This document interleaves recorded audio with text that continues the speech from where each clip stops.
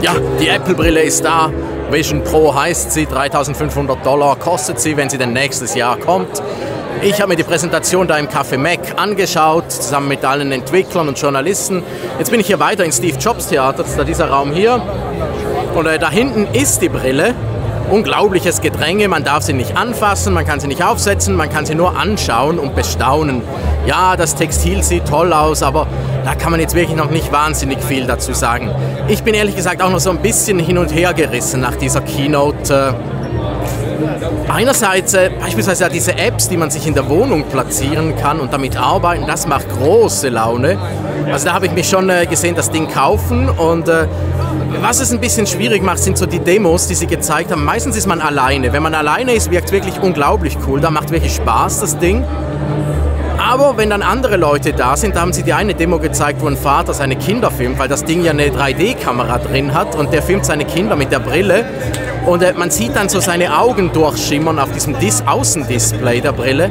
Und das fand ich ehrlich gesagt ein bisschen Uncanny Valley und äh, ein bisschen spooky und äh, wie sagt man das auf Deutsch? Ja, ein bisschen unheimlich hat es gewirkt, ein bisschen seltsam und unvertraut. Aber da müssen wir uns natürlich erstmal dran gewöhnen und Apple hat ja auch noch Zeit. Die Brille kommt ja erst äh, nächstes Jahr in den USA erstmal auf den Markt. Bis sie bei uns ist, dauert es auch noch mal ein ganzes Weilchen. Also äh, da kann man sich schon noch gedulden. Ich muss jetzt mal schauen, ob ich da noch vielleicht ein bisschen mehr davon sehe oder ob ich sie vielleicht aufsetzen kann. Ist aber hier nicht möglich. Hier im Gedränge, äh, da darf man sie nur mal anschauen. Aber das war logisch, das war zu erwarten. Du willst nicht, dass Leute da diese Brille in diesem Gedränge aufsetzen, schnell reingucken und wieder weggehen. Leute brauchen Zeit, um so eine Brille auszuprobieren und äh, das kann man hier nicht machen. Das zeigen sie sicher nachher noch. Die Frage ist, wem und ob ich da auch dabei bin, wenn wir alles rausfinden.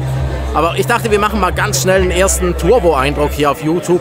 Mal nicht in Shorts. Ich habe schon ein paar Shorts gemacht zu allem, aber nein, mal wieder ein richtiges YouTube-Video, auch wenn es äh, unter fünf Minuten bleibt. Aber das ist mal so der erste, erste flüchtige Eindruck zu dieser Brille. Was, oh doch, etwas muss ich noch anfügen, was ich unglaublich spannend finde, ist halt das Augentracking mit Infrarot.